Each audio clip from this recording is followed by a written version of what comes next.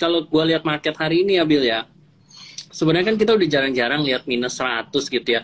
Gue pikir harusnya ketika Jumat ada kasus Silicon Valley Bank itu yang kolaps di Amerika, harusnya refleksnya ke Senin.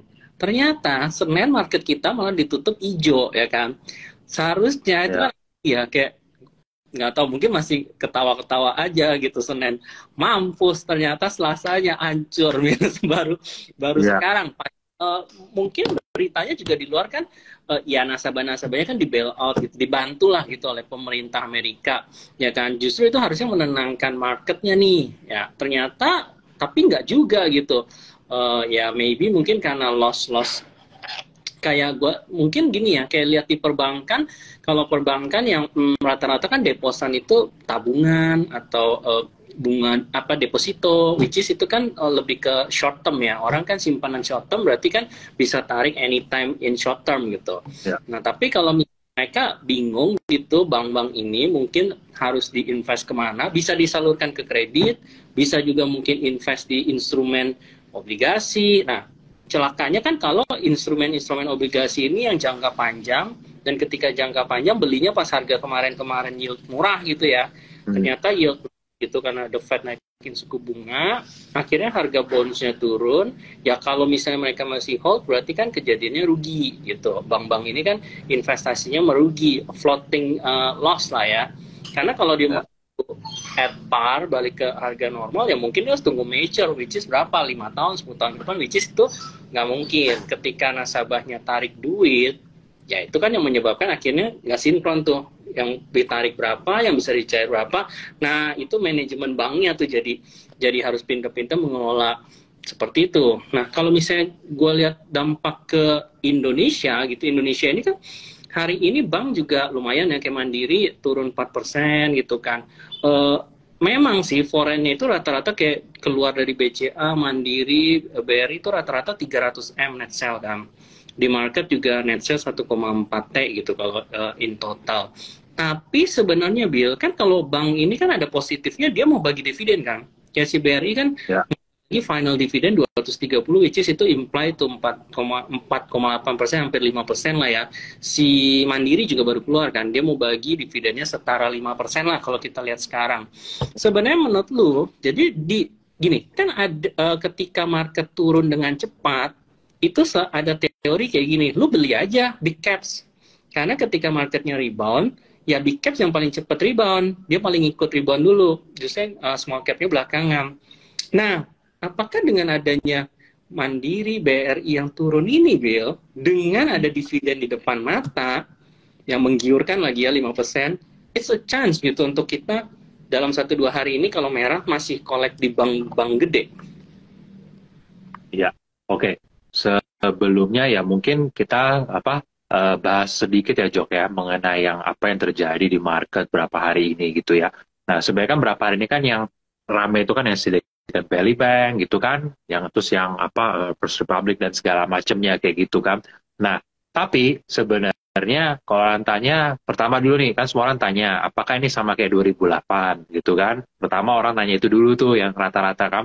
Nah, jelas beda ya 2008 sama yang sekarang itu menurut gua kesannya memang ada sedikit kayak gagal gitu ya. Tapi yang satu beda nih. Kalau dulu itu kan benar-benar gagal bayarnya parah, Jok. Gitu kan. Mortgage back securities-nya, terus apa, kredit rumahnya udah udah parah lah kalau yang itu kan. Nah, kalau sekarang kan lebih karena yang tadi lu bilang ya, bonds kepemilikan dari bank-bank ini kan semua harganya turun, tapi at the same time mereka, masalahnya sebenarnya simple, Jok.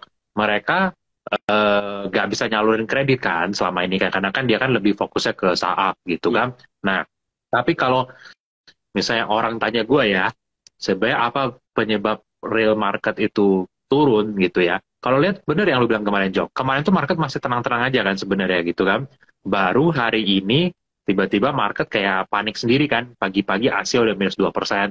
Padahal tadi malam kalau lu cek Jok, Hmm. tadi malam itu bursa Amerika sebenarnya kan termasuk yang ya nggak ke mana-mana lah ya bisa dibilang ya. Ya. Dow Jones-nya minus tipis gitu kan, Nasdaq-nya masih hijau gitu kan. Terus kenapa tiba-tiba panik hari ini gitu kan? Nah kalau gua bilang ya again kita bisa salah ya karena kita bisa nebak karena kan mungkin orang apa punya view-nya masing-masing. Tapi kalau gua sebenarnya seperti yang tadi gue tulis gitu kan, misalnya di grup kita gitu kan. Sebenarnya menurut gue penyebab pertama itu adalah gini, minggu kemarin pas Powell itu pidato gitu kan, uh, orang pada bilang oh Fed itu expect rate itu higher than expected gitu kan, maksudnya rate-nya akan lebih tinggi daripada yang sebelumnya diperkirakan. Nah oke, okay, berarti orang tahu, berarti kan Treasury bakal tetap koreksi kan yield akan naik kayak gitu kan. Nah orang pasang posisi short di treasury. Karena buat orang yield ini kan akan makin naik kan harga bonds turun. Nah itu kan tadi kan gue kirim gambar yang itu tuh kelihatan karena posisi shortnya tuh udah udah dalam banget gitu ya. Ya mungkin nggak kelihatan ya teman-teman ya, tapi kurang lebih shortnya tuh udah dalam banget lah kurang lebih selama uh, berapa bulan terakhir ini gitu kan. Nah tiba-tiba dalam satu weekend ya Jok ya berubah semua ekspektasi kan dari harusnya The Fed naikin, tiba-tiba The Fed jadi kayaknya bisa jadi nggak bakal naikin lagi gitu kan. Sampai even kayak ada sekuritas yang di Jepang, ya kan, di Jepang sana, mereka call balah Maret ini bisa red cut nih, jangan-jangan kayak gitu kan. Jadi menurut gue ini ada lebih kayak big shift job in makro apa uh, sama monetary policy gitu. Dari harusnya naik mungkin masih bisa sampai kan kalau baca kan kemarin kan rate bisa sampai 6% gitu kan. Oh berarti masih bisa naik sampai lima kali lagi kan tiba-tiba odds berubah gitu kan dari bisa naik lima kali berubah jadi kayak apa uh, uh, bisa nggak naik lagi gitu kan nah akhirnya Jok ini semua yang namanya lu short gitu kan yang namanya lu short lu kan harus buyback kan kalau misalnya tiba-tiba ada perubahan gitu kan dan kalau kayak gini Berarti kan nanti kan treasury yield bakalan turun kalau The Fed nggak bakal naikin lagi. Harga bonds akan recover kan. Sedangkan lu udah pasang posisi short gitu kan. Dan posisi shortnya gede kan kalau kita lihat di gambar tadi gitu kan. Nah jadi akhirnya orang cover short turun semua gitu kan. Apa eh, pada sibuk buyback semua gitu kan tutup posisi shortnya. Nah habis lu tutup posisi short, lu kan tetap rugi Jok. Ya kan? Atau mungkin lu kena margin call atau apa gitu kan. Lu tetap rugi, akhirnya apa yang lu jual? ya sama kayak kita misalnya trading saham sendiri teman-teman gitu kan gitu loh kalau misalnya saham yang dibeli rugi ya kan terus masih nggak nutup juga nih T plusnya misalnya lu kan akan jual barang lo yang lain kan yang cuan pun lu jual kayak gitu kan. Nah itu yang akhirnya menurut gua ya pribadi itu yang bikin market itu turun. Karena kenapa? Rata-rata pada posisi shortnya jadi apa rugi kebakar di situ kan mereka jual aset mereka yang lain gitu sih. Ya memang dibumbuin berita juga kan kayak misalnya kredit sus ya kan ada bank-bank lain yang kena juga gitu.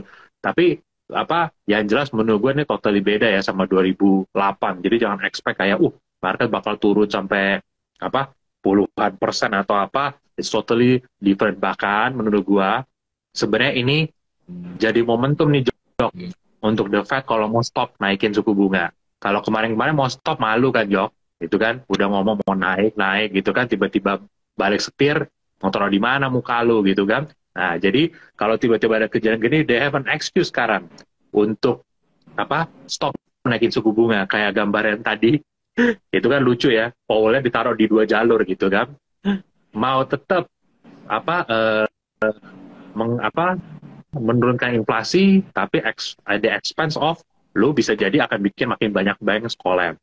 Tapi di sisi kiri, kalau lu pivot, ya kan nggak naikin suku bunga, ya lu harus menerima inflasi itu akan bisa jadi akan stay higher for longer kayak gitu kan.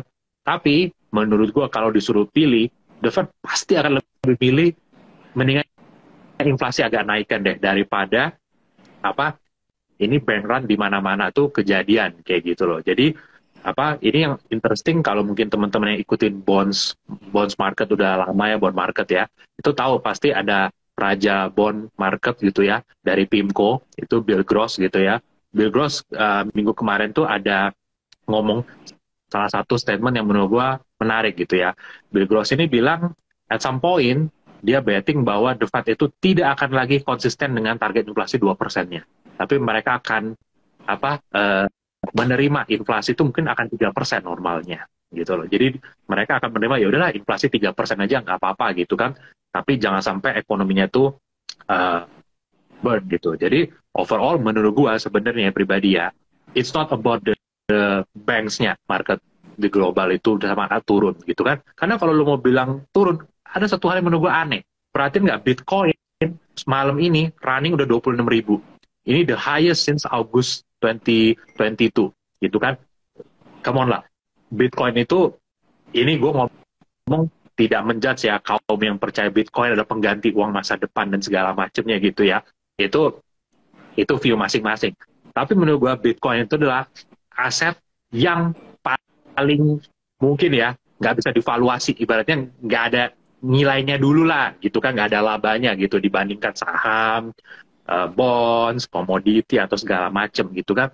Tapi mereka running sendirian loh naik sampai 26 ribu nih sekarang gua cek gitu kan. Dan bahkan ngebreak level yang bulan lalu gitu kan. Dan apa gua kayak tadi ada sempat ngobrol sama si Willy juga di grup gitu kan. Bitcoin itu bisa dibilang aset zombie dong gitu loh. Ini aset yang harusnya main kalau ya lo yakin fat rate itu bakal pivot. Ini lu main setelah barang-barang yang bagus sudah naik, lu nggak ada pilihan lagi, lu mainlah barang-barang yang beginian gitu kan. Jadi menurut gua kenaikan Bitcoin, gold gitu ya, sebenarnya itu udah sinyal gitu, something bahwa the market thinks bahwa yang akan kita dapat ke depan itu adalah Fed itu akan pivot gitu sebenarnya. Ya karena balik lagi Jok, dulu kalau jadi bank sentral pilih mana? Orang ngeras di bank atau inflasi agak tinggi lebih sedikit lebih tinggi daripada biasanya. Lo akan pilih yang kedua by by logic menurut gua gitu kan daripada buat chaos yang lebih uh, parah kayak gitu kan. Nah jadi uh, nah jadi sebenarnya kita tunggu sekarang tinggal posisi short di treasury itu balik ke normal gitu kan which is gua belum dapat lagi angka sekarang shortnya posisinya udah berapa. Tapi kalau sudah balik normal ini kalau gua hitung kalau mau balik normal posisi short itu harus berkurang uh, sekitar 40 persen lah gitu kan berkurang di situ. Nah kalau ini udah normal jok, harusnya marketnya udah udah udah tenang gitu. Karena again gue percaya ini bukan yang kayak 2008 ya. Ini murni karena minggu lalu lu bilang rate bakal higher than expected, orang udah pasang posisi short semua, tiba-tiba dalam satu weekend berubah, ngeflip, ya ini sama kayak tiba-tiba ibaratnya lu forward guidance-nya tuh jadi kayak terbalik gitu loh. Nah jadi gue bilang tinggal tunggu aja posisi shortnya nih pada netral kayak gitu ya. Apa market lebih tenang. Eventually menurut gue marketnya akan apa uh, rebound. Dan ditambah malah bonus satu sekarang. The Fed-nya nanti udah posisinya udah nggak bakalan agresif lagi naikin apa uh, suku bunga. So ini harusnya bagus buat aset-aset yang kayak contoh ya kayak emerging market gitu kan. Hmm. kedua kayak commodities gitu kan. Kayak precious metal gitu kan. Harusnya akan bagus begitu. Dan bisa jadi sekarang kita akan melihat jok hmm. market regional akan lebih outperform daripada US market setelah mungkin 10 tahun lebih ya US market tuh perform strong sendirian. Nah, sekarang bisa jadi dengan The Fed ini stop, menurut gue ini momentum yang pas untuk The Fed itu ngeles job. Ya, karena begini gue gak bisa naikin bunga lagi, jangan bilang gue soal inflasi, kayak gitu loh.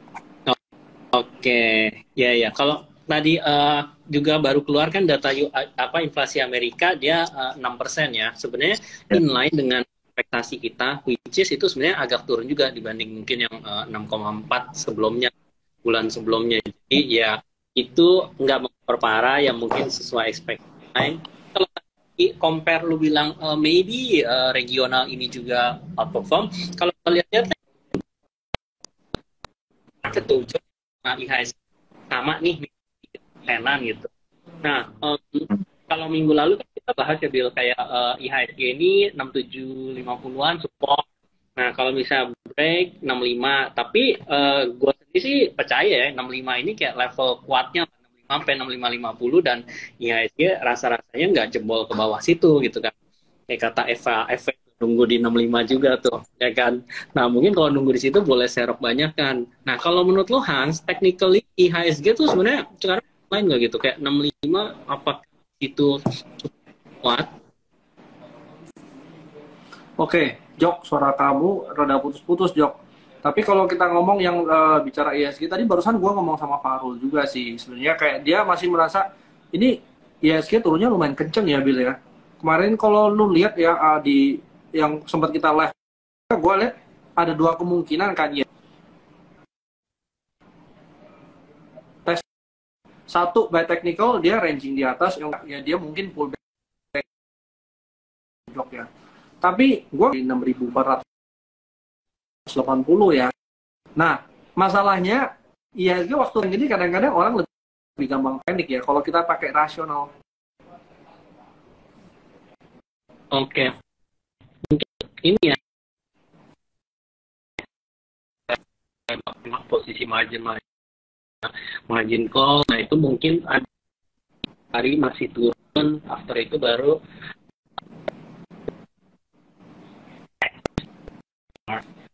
kurang lebih kayak gitu. Oke, Han, dengar atau putus? Ini kok coba tes. Lu nggak lu nggak dengar suara gue ya? Dengar, dengar, dengar. Tadi kayaknya sinyal gue rada jelek. Udah jelas? Mm -mm. Jelas, jelas. Gue dengar suara lu. Oke, okay, sorry, sorry. Tadi uh, ganti uh, provider dulu. Nah, anyway, kalau kemarin kan kita ngomong ISG ini kan uh, dua skenario. Gue bilang mungkin satu dia ranging di atas. Yang kedua dia mungkin buat kayak inverse head and shoulder lah kalau secara teknikal ya. Atau dia buat kayak double bottom lah. Kadang-kadang ya um, kalau seperti ini yang uh, technical lebih baik kita cari itu uh, time horizon lebih panjang atau datanya lebih banyak uh, job bill supaya kita bisa tahu worst case-nya kalau dia turun turunnya saya mana. Dan gue masih ngelihat kayak 6484 itu sebelum di break ya. Kita nggak bisa ngomong dia uh, downtrend ya. Uh, dia dia uh, bakal jelek banget ya. Tapi in this case kalau kita ngomong objektif ya turunnya lumayan kenceng sih ya. Terutama hari hari uh, hari ini ya. Hari ini ya. Yang tadi lu bilang kan lagging satu hari ya. Kemarin kayak marketnya sempat naik kan banks ya. Tapi hari ini ya buktinya banks yang besar kayak BMRI lumayan banyak outflow juga ya jok ya Bill nah menurut gua um, market sekarang ini yang paling menguntungkan tuh yang paling yang punya cash nih, job Bill. Jadi uh, mungkin deket-deket 6.500, 6.480-an itu mungkin uh, waktunya kita mulai jaga-jaga uh, nih. Just in case memang marketnya udah mulai ada info lagi, sebenarnya good price atau sebenarnya good condition waktu kita uh, mau masuk lagi sih itu. Oke, ini gue jadi berpikir ya, gue uh, ada satu pemikiran uh, mungkin sederhana ya. Misalnya gini, ini kan lebih ke uh, kalaupun kejadian di Amerika kan lebih ke financial uh, inilah sistemik gitu ya uh, di perbankan gitu kan. Nah sebenarnya kalau misalnya kita lihat ke uh, sektor komoditi uh, gitu ya kayak ya orang mungkin akan tetap production gitu, orang akan tetap uh, jualan gitu kan. Nah kalau dari domestik juga rupiah sekarang udah di 15.300 lagi kan sebenarnya menguntungkan buat eksportir eksportir gitu kan. Jadi uh, kayaknya cukup bagus gitu kalau orang pegang komoditi karena kan orang juga ngomong komoditi itu lebih ke hedging juga. Nah kalau menurut lu gimana Bill apakah memang ini uh, maksudnya kalaupun harga saham-saham komoditi turun gitu ya kayak coal gitu nah ini justru momen yang tepat nih untuk kita sebenarnya mulai nyicil buy gitu. Iya sebenarnya ya jok ya suara oke okay kan ya? Oke. Okay, ya.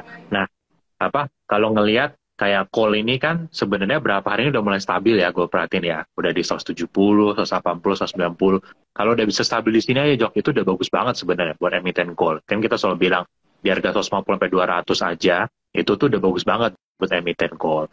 Nah tapi satu hal yang, yang gue perhatiin adalah apa pun yang terjadi di fluktuasi harga gitu ya uh, komoditas belakangan ini, satu hal yang tidak berubah, harga boleh berubah tiap hari ya, tapi satu hal yang nggak berubah adalah under investment supply-nya tuh masih sama dibanding beberapa bulan lalu, gitu kan?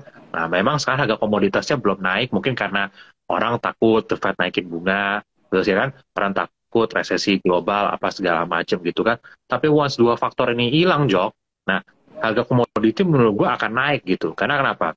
Sebenarnya dari sisi supply itu apa lu nggak mengobatinya berapa tahun terakhir ini gitu kan? Malah apa apa ditakut-takutin lah dengan green gitu kan? Dipakai SPR dirilis kayak gitu mas segala macam kan? Jadi overall kalau lu cek ya semua komoditas ya mau itu copper mau itu nikel mau itu oil gitu ya semuanya itu sama-sama punya problem yang sama yaitu under investment di supply gitu kan? Dan supply nggak akan nambah selama harga itu masih segini gitu kan? Hmm. apalagi sekarang anggap kita semua pengusaha real komoditas. Apalagi ditakut-takutin ya kan, mau resesi lah, ada kris kayak gini. mungkin nggak lo naikin capex lo ya lu pasti mikir-mikir lah kayak gitu kan. Ngapain kayak gitu? Apalagi kalau lu yang nggak green gitu kan. So overall gue sih apalagi nggak ada momentum kayak gini ya itu loh. Dengan Fednya very likely bakal stop uh, hiking the rates gitu ya. Menurut gue ini momentum ya kalau komoditi sih menurut gue buy on weakness ya tetap ya. Ada koreksi ini kumpul-kumpulin gitu. Karena gue yakin weak USD itu selalu benefit untuk kayak precious metal yang tadi gue bilang ya emerging market gitu kan dan terutama komoditas gitu. Karena apalagi kalau sampai the Fed akhirnya pivot jok berarti dia menerima kan inflasi harus lebih tinggi kan. Dan the hedging for inflation dari dulu kita selalu belajar kan komoditis gitu kan real estate gitu kan sama segala macam. Jadi ya ini good positioning sih Jok. Apalagi kalau lu lihat emiten komoditi sekarang lagi enak semua Jok.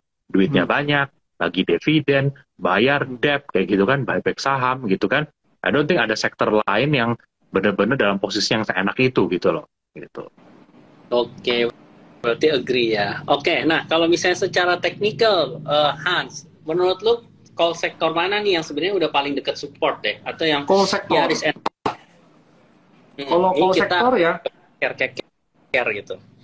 Kalau call sektor sebenarnya kan um, sentimen yang bisa kita pakai sekarang paling dekat apa ya? Mungkin dividen ya kayak si Bill bilang tadi ya ya company-company udah pada uh, banyak duit kan kemarin ya. ya tinggal kita lihat mana yang bisa kasih dividen paling banyak itu paling gampang sekarang mungkin kalau kedua kalau kita bayar teknikal ya kayak Adaro itu sebenarnya udah murah banget ya uh, harga sekarang dekat-dekat support sebenarnya limited downside juga ya. Even kalaupun dia break dari support ya, kita harus lihat lu break dari support tuh jauh nggak? Kalau sebenarnya break dari support nggak gitu jauh, sebenarnya kita nggak bisa uh, secara psikologi kita nggak yakin dia bakal benar-benar drop lagi ya. Otomatis ya kita mungkin tunggu benar-benar agak pelan barusan kita masuk ya. Tapi kalau semuanya kayak lu ngomong kayak um, coal sektor yang ADMR, cooking coal, nah itu sebenarnya um, kita masih tunggu sih dari smelternya itu kan juga nggak kelar cepet ya.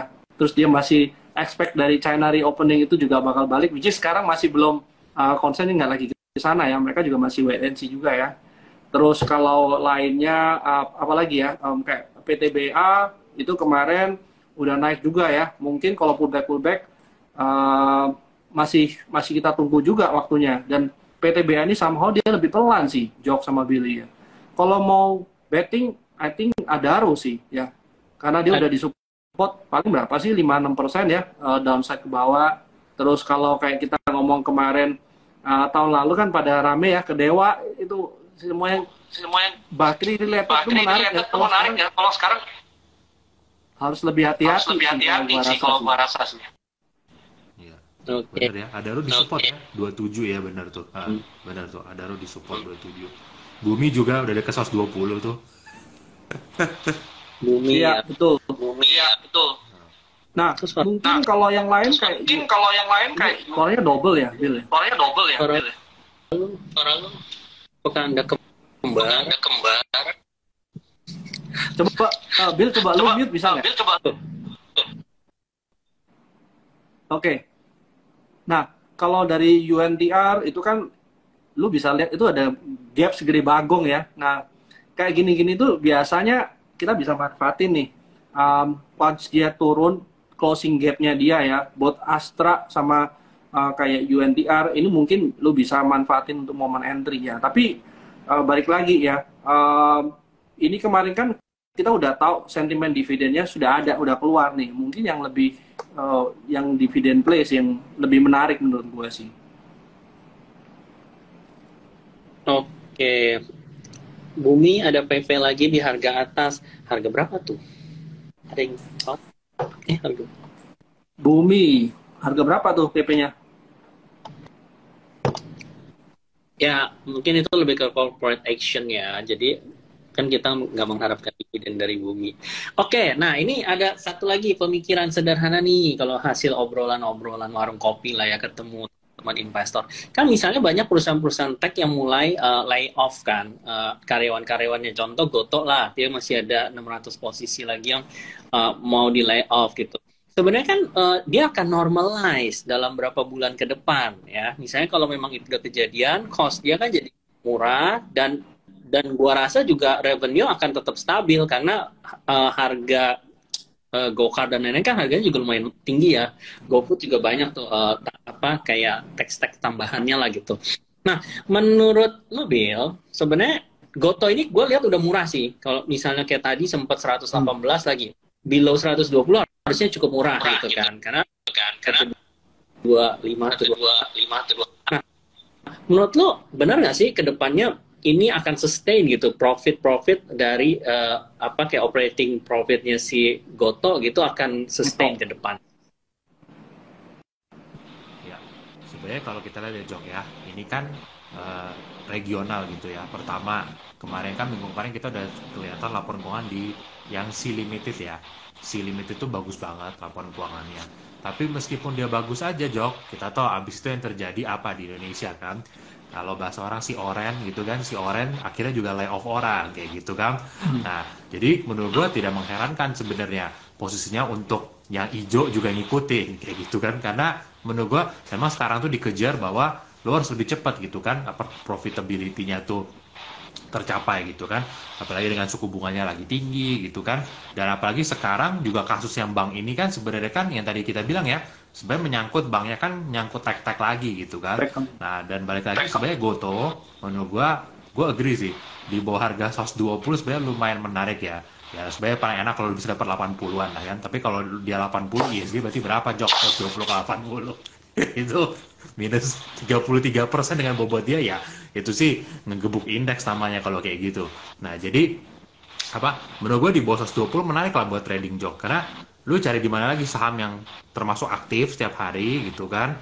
Terus juga likuiditasnya oke okay, gitu kan. Plus ditambah juga in terms of fundamental mereka mulai ada recovery juga gitu secara structural gitu kan improving semua. Dan memang kita nggak bisa memungkiri jok yang namanya startup itu dalam kondisi kayak sekarang, kalau lu sudah naikin take up rate, cara selanjutnya untuk cuan kayak gimana, Jok? Ya, efisiensi gitu kan. Betul. Ya kan, memang Betul. ya we are sorry gitu kan for people yang impacted pastikan.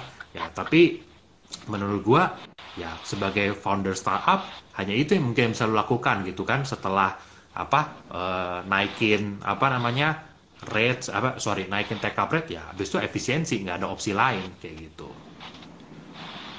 Ya, Great Bill. Ya, sekarang take, Bill. Sekarang take, take, take, take rate-nya ya kan? Double suaranya. Double suaranya. Kalau Oke, kalau take rate ini kan mereka udah naikin uh, sekali ya. Kalau kemarin ya. Cuman lu mau take rate naik berapa lagi ya? Agak, agak susah ya. Terus juga um, kalau yang satu naikin take rate, lu naikin take rate, at some point lu naik take rate itu bukan kayak naik kencang gini, mungkin lebih landai ya, Bill ya. Ya, jadi yang kemarin-kemarin kalau kita ngomong lu waktu layoff begitu banyak itu kayaknya tabu ya. Hal sekarang tuh kayak lu kalau nggak layoff lu mungkin nggak survive gitu. Jadi somehow ya satu hal yang paling masuk akal ya mereka kurangin dong beban dari mereka punya uh, karyawannya yang gue ingat kemarin kan di 4Q tuh ya sempat uh, hemat sekitar 400 bio ya selama satu quarter sih. Nah kita masih mau lihat nih quarter ini setelah mungkin dia ada action seperti itu lagi dia bisa hemat berapa banyak lagi ya nanti pengaruh ke bottom line-nya berapa gitu Iya betul. Iya betul. Hmm. Tunggu Jok, akhirnya tunggu stock split Jok satu banding dua nah, kita tunggu tunggu. Ya Bill, tanya ya, Bill.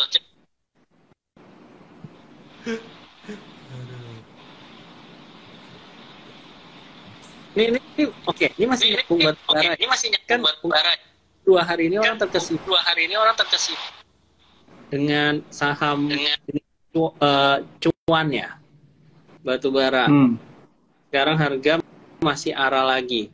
Nah, menurut lo Hans, kalau secara teknikal nih kayak begini, kalau udah yang punya gimana? Apakah sekarang udah berapa hari arah ini waktunya lepas? Nah, kalau yang belum punya barang, wise nggak kalau beli?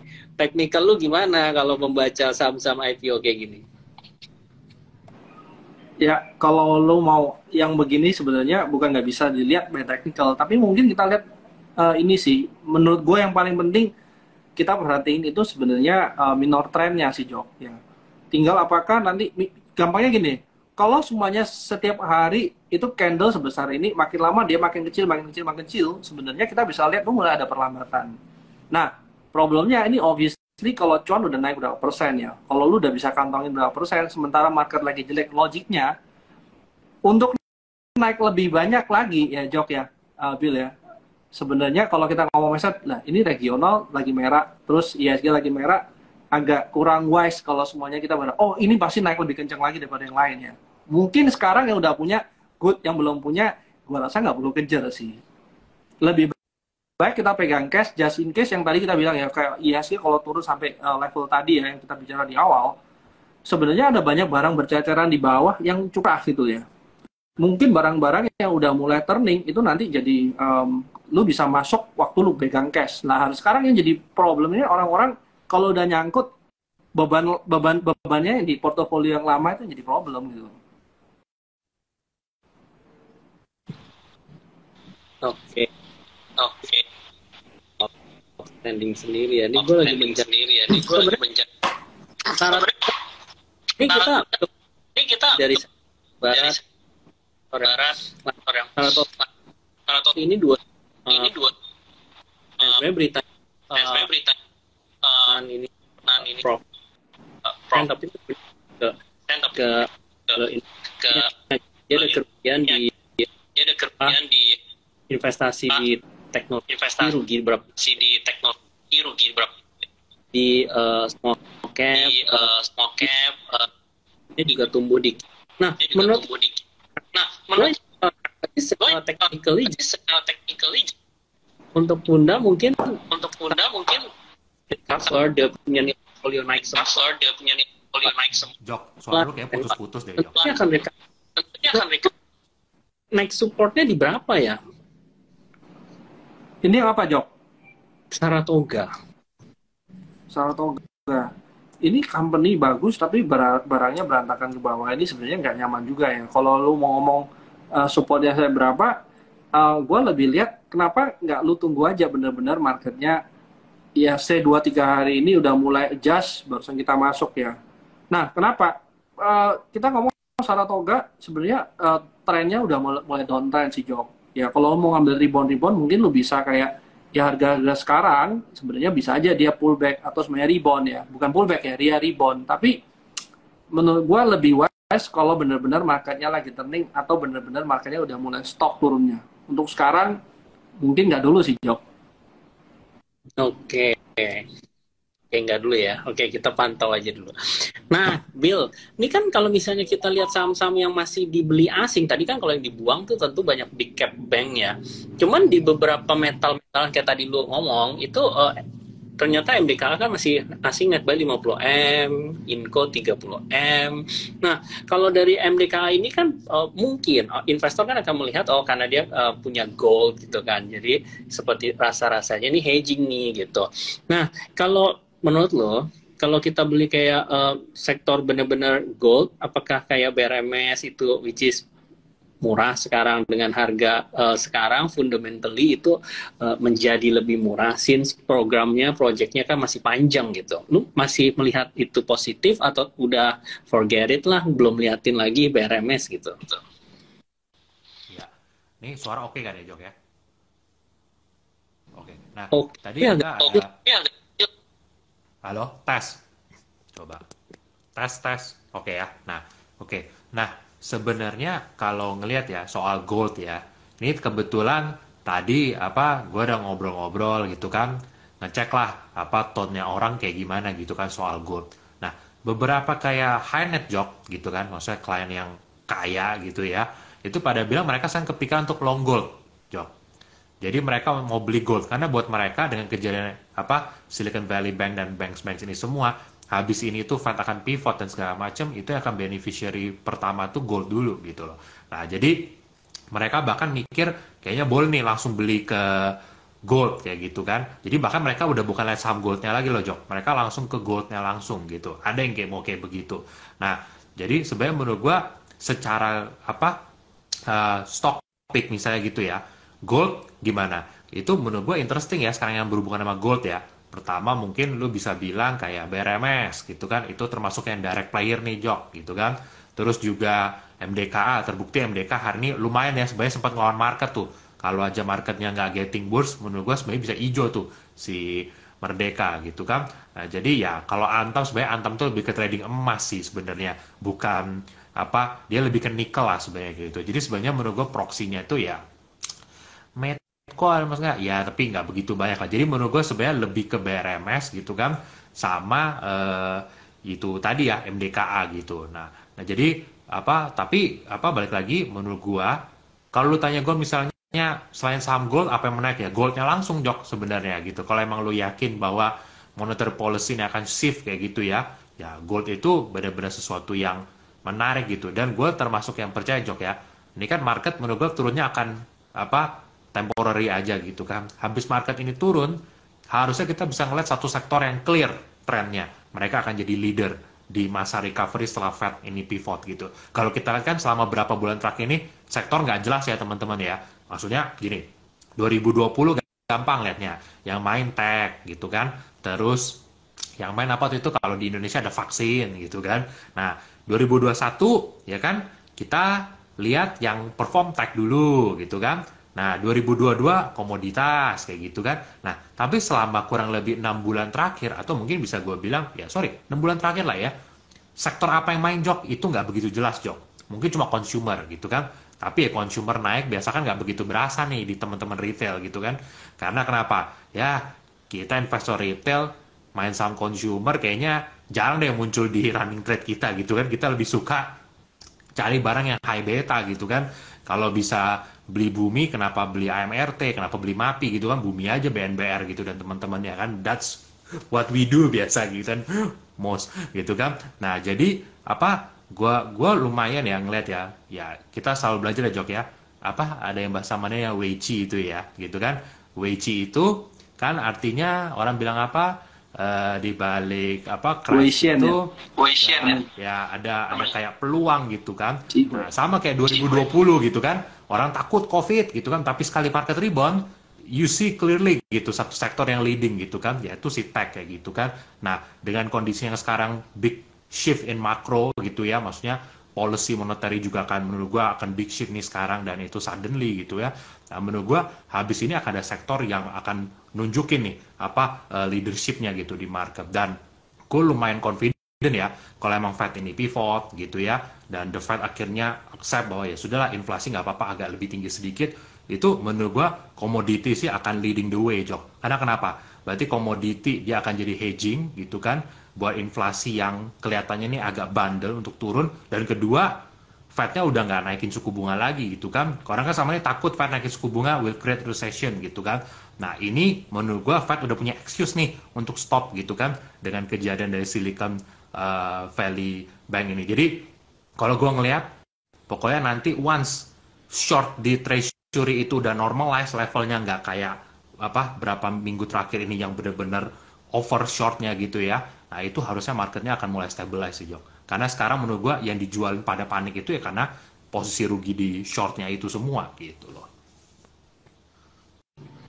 Oke, tadi ada yang nanya pop and paper ya, maksudnya fundamentalnya bagus, tapi kenapa um, harganya sahamnya turun terus? Nah kalau misalnya oke okay lah uh, harga pop price-nya tadi kata Cici kurang bagus ya. Cuman secara uh, teknikal gitu Hans, itu menjelaskan apa? volume volume analisisnya tuh gimana? Ini apakah waktunya serok? Nah itu kata Chong Senake gitu kan. Hmm. Sebenarnya kalau kita ngomong INKP ya memang uh, sekarang kan di area support ya Jok ya. Tapi kalau semuanya kita ngomong INKP-nya dulu ya. Memang selain pulp-nya turun ya, kelihatannya dia punya earning sih memang naik banyak ya Jok ya. Nah cuman um, lu ngomong teknikal seperti ini turun itu sebenarnya kayak lu bisa lihat ya waktu turun merah-merah-merah itu sama sekali nggak ada perlawanan. Nah, yang kita mau sebenarnya kita mau bayar ya. Bayar kalau sebenarnya kita ngomong mail bisa ada supply berarti harusnya warna hijau ya. Nah, ini berapa hari nih? Kalau lebih lihat uh, hampir kayak dua minggu full ya.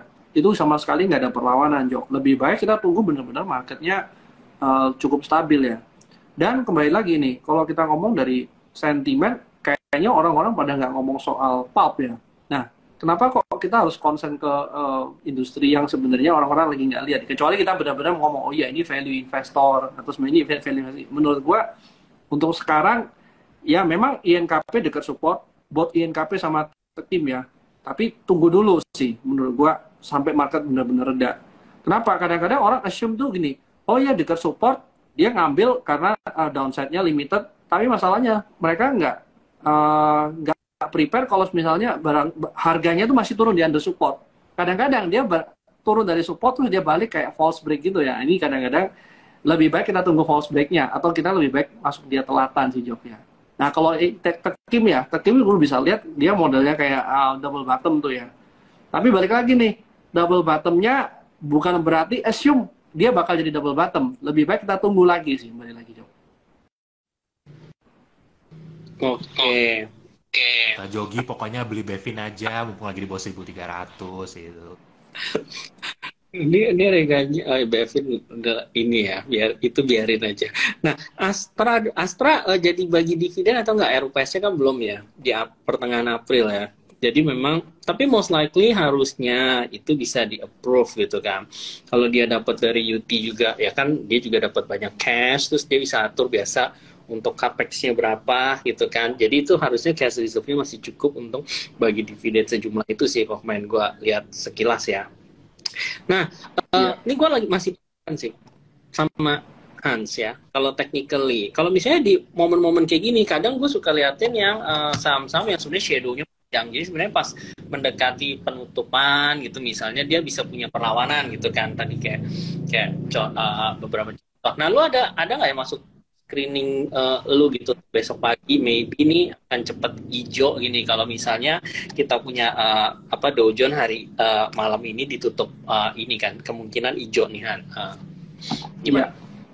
Kalau tadi ada yang ngomong Astra itu kan kita kemarin lihat ya waktu dia gara-gara ada yang uh, dividennya bakal gede Astra UNTR itu kan gap lumayan banyak ya Jok ya. Kalau tadi UNTR mungkin kita bahas ya. Tapi sekarang kalau lu lihat Astra ini udah tutup tutup gap nih Jok ya Nah, assume kalau dia masih uh, on track, dia punya structure market masih naik, harusnya area sekarang yang kita carikan higher low-nya. Nah, masuk akal nggak?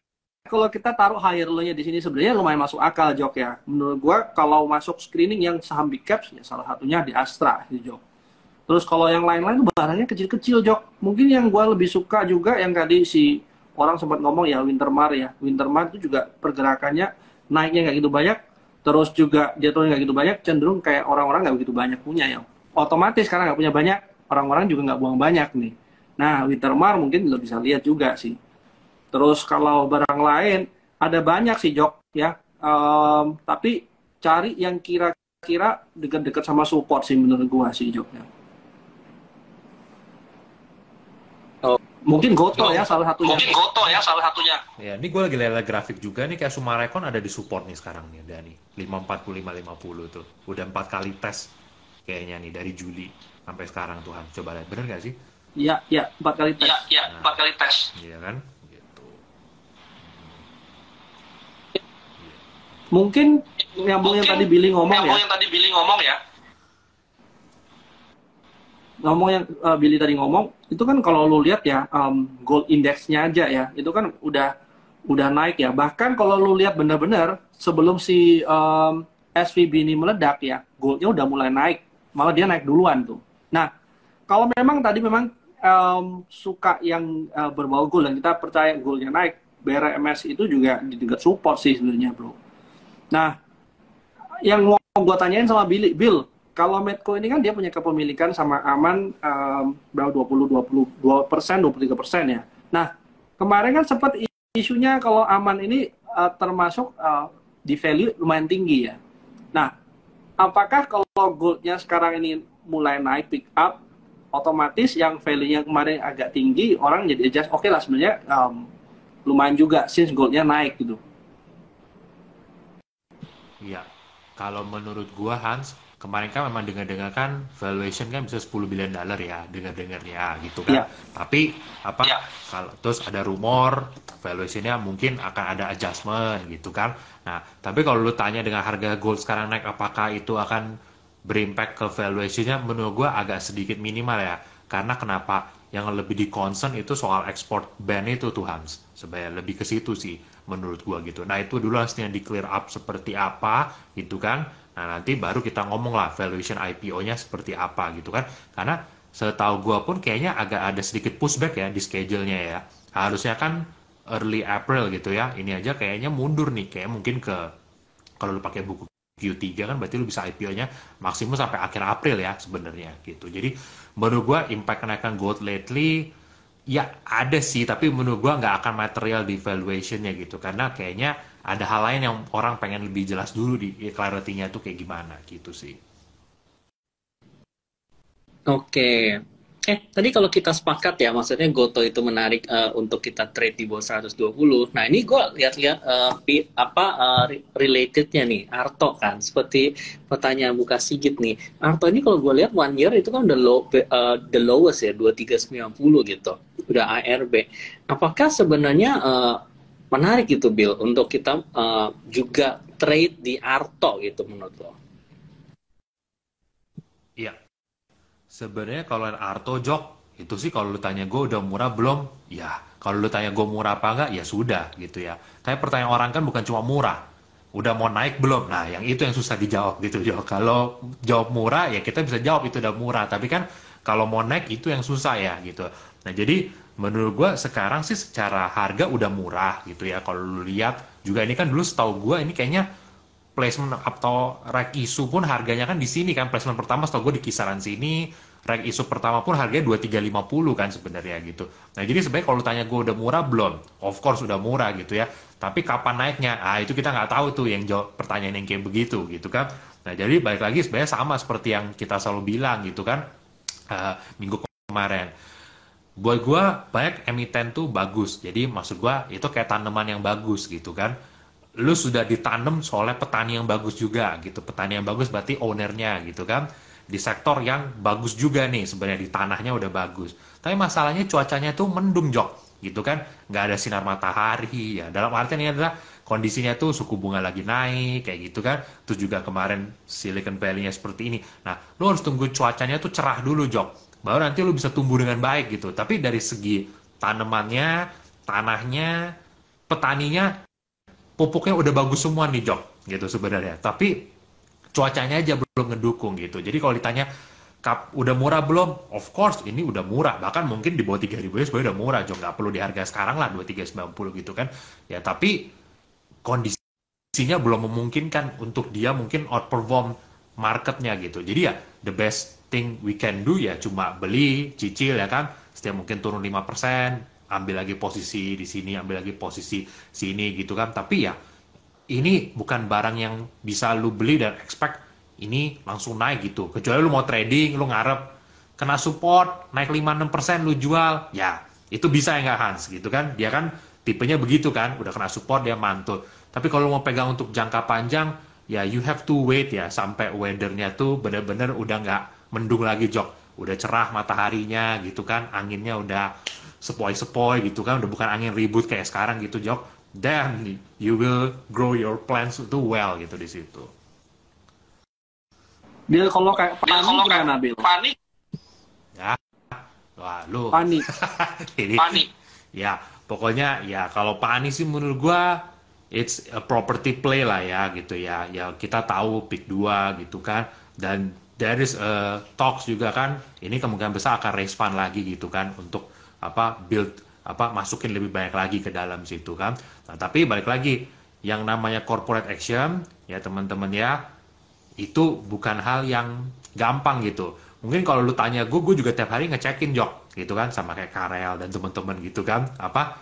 Oh, ini kapan ya keluar gitu ya. Tapi you have to wait gitu. Barang-barang yang kayak gini tuh memang apa nih? Ya benar. Ini termasuk barang yang pakai iman yang kayak kemarin gue juga bilang ke apa cicu pas gue ke kantornya Jarvis gitu kan ada barang-barang yang sekarang lu beli tuh udah pakai iman tuh jok gitu kan contoh misalnya kayak kayak kita lah nggak usah jauh-jauh gitu kan. Lu beli tugu pakai iman ya kan? Lu beli esa pakai iman kayak gitu kan. Lu harga amonia turun tapi kayaknya ada ada hal yang nggak lu ini deh apa kan? Lu esa lu beli gitu kan. Ya sama gitu kan. Kayak menurut gue panis salah satu barang yang pakai iman. Iman dalam artian lu bukan lihat fundamentalnya sekarang jok. Lu lihat kira-kira what they gonna do gitu kan. Nah jadi itu itu setuju sih. Apa kalau barang-barang ada yang mungkin kita beli pakai iman ya gitu ya. Tapi ya balik lagi gitu kan, kalau lu beri, beli pakai iman gitu kan, berarti lu nggak boleh lupa berdoa gitu supaya ownernya nggak lupa sama sahamnya gitu. Bill, gue jadi penasaran ada saham lain yang perlu pakai iman lagi nggak? Ini menantang nih, ini kita menantang nih, ini kita ujian. Waduh, jok apa? Jangan kebanyakan iman jok di market jok nanti bisa rugi loh. Iman itu kayak portfolio lu kayak kategori iman gitu kan. itu jangan banyak-banyak di portfolio lu jok. Gua dapat Iman? bisikan dari sebelah gua katanya pakai iman mari, Bro. Wah, itu sih bukan iman lagi, Jok Hans. Itu udah iman, doa, dan pengharapan itu kayaknya gitu. Sama puasa kayaknya. Lu harus yakin tag itu tuh bakal rebound tuh. Soalnya menurut gue simpel ya. Kalau Goto sama Arto aja tuh belum naik ya, Jok Hans ya. Yang lain akan berat, Jok Hans. Itu naik. Karena dia tuh kayak leadernya gitu loh. Kalau dua leadernya aja belum naik, ini sama kayak BCA BRI belum naik, ya kan? Lu ngarepin BNI Mandiri naik gitu ya? Eh sorry jangan BNI Mandiri lah, itu mungkin masih big cap juga. Lu ngarepin bank yang kecil naik itu agak susah gitu. Jadi memang lu harus ngarep Goto Arto dulu recover, and then yang lain menurut gue baru- bisa naik. Makanya gue bilang kalau beli tag lain selain Goto Arto, ya itu sih bukan cuma pakai iman lagi, Jok. Udah pakai doa, puasa, dan pengharapan gitu tuh. Lengkap. Oh, bentar lagi puasa berarti bisa naik di saham-saham nih karena rajin berdoa.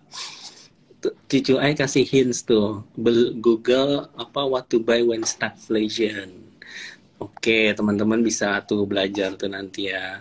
Tanya tanya chat GPT aja lah ya. Oke, kalau begitu sudah oh Rosario. Kewihara lah pasang hiwo yang segede apa 2 meter itu ya kan pakai lilin yang setinggi orang gitu ya. Oke, kalau gitu eh, ya, ini kita lihat market harusnya lihat market harusnya satu dua hari juga mungkin dua hari juga mungkin mulai hijau hari ini mulai hijau hari ini Nah, Baik, besok paling ekspektasi. corporate action adanya itu ya Jok ya. ESA, RUPS ya. It- Ya, hopefully yieldnya yield dividennya akan menyenangkan ya teman-teman ya besok. dividen apa Bill Ya. Nah, besok yang RUPS ESA kan. Ya hopefully Oh. dividen yieldnya akan menyenangkan lah ya teman-teman. Oke. Oke. Nah, bisa dipantau juga ya ESA karena anywhere below 1000 harusnya kita rasa menarik juga ya Bill ya kemarin ESA kan. Udah bisa uh, cicil-cicil. Oke, kalau gitu uh, thank you banget teman-teman. Thank you Bill. Thank you Bill. Yo, thank you. Sudah thank tonton you. semuanya thank you teman-teman semua.